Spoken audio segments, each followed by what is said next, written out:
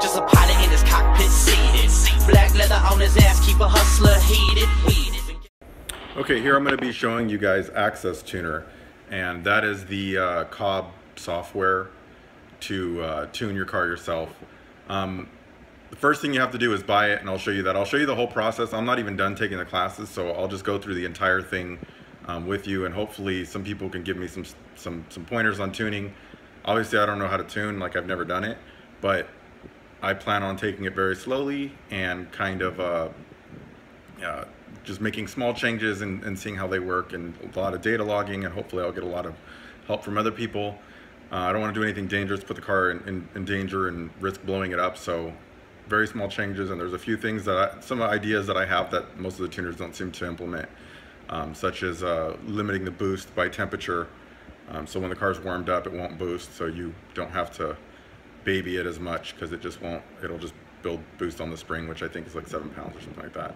And I know this is crazy. No, no, everyone's gonna attack me probably for it, but I want to tune the car to be able to run on 87 octane also. Not that I'll run it on 87 octane all the time, but I would like to have the option just in case um, zombie apocalypse or something like that, and I only can only siphon 87 out of some cars or something like that. Um, I'll need 87 tune. So whatever, whatever the reason is, I think that's a, just a good thing if that if I have the option to run it on 87, I can because I know even stock the car won't run reliably on 87. So here I'm going to show you how to how you purchase the software, and then um, in the next video I'll show you all the all the courses. I of course can't post the courses, but I can show you what's in them and just like a little bit of it, um, and then you can decide from there. So here it goes. Um, what you want to do is go into the Cobb website, search for Access Tuner, and you can see they have it for a bunch of different makes. So you're going to just want to make sure you're on the Subaru Access Tuner and then it's going to give you all the requirements. It shows no cost for the software, but it's actually $150 for the EFI University course. The software is free, but the course is required to download the software, so you can't get the software until you take the course for 150 bucks. So one of the things to keep in mind is that it locks the tune to your specific car. So you're going to need to give them your Cobb serial number, and that's going to uh, make the software locked to your specific car. So you're not going to have the option to tune other people's cars or anything like that. It's only going to be your particular car. And I think you can lock the tunes or unlock the tunes so you can certainly have other people look at them and maybe even modify them if they have the software. You're going to need to buy the professional version before you can do that. And to buy that, you need um, to take even more classes. And I think you need to have a shop and all sorts of other stuff. Okay, so once you sign up for your class and you pay the $150, you'll get an email from EFI University and from there you'll log in. You'll have to create your own login and everything, but you get logged in, and then you'll have a class, a course uh, set available. And once you go in there, you can see you have a bunch of uh, courses you can take for Access Tuner certification. Um, there's a whole bunch of them. There are a lot that are, most are just generic, and I will uh, post a, an entire list of all the courses in the description just so you can see what's involved. But a lot of them are really good. Most of them just go into basic theory, on uh, tuning and modifying.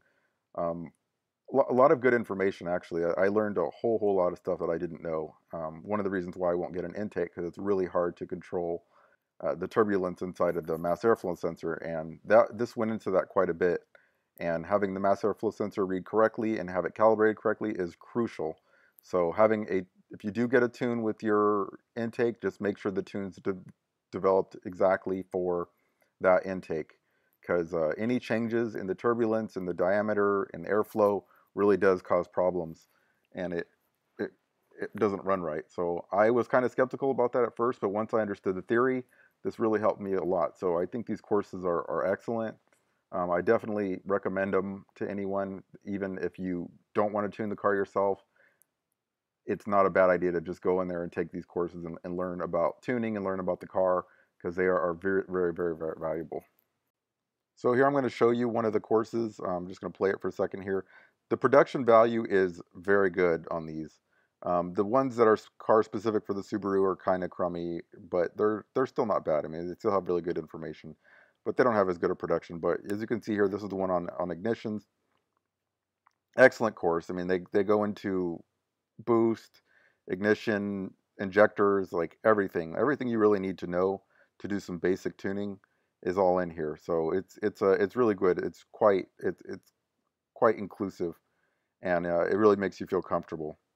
So this is where I'm here. I'm at now. I'm at 86%. I'm still not done with the the courses. Uh, unlike most things where you can just kind of play it in the background and barely pay attention, I actually watch these videos very, very carefully and try to make sure I'm noting everything and I'm gathering everything. So I'm not done yet. I will be done probably in the next few days.